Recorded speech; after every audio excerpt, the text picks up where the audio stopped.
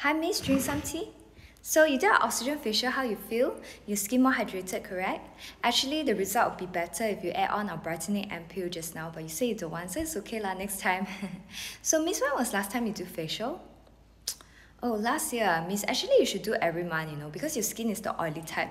You want to buy our package? Now we have Chinese New Year offer. So you buy 10 session, we give you 2 for free. So 12 session is $1,000. It's very good deal.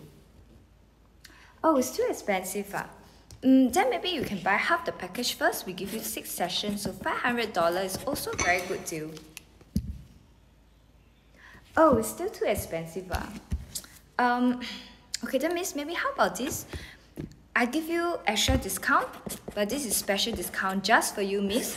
$438 for six session. This is just for you. It's special price. It's my best price. If you don't believe me, you can ask my supervisor.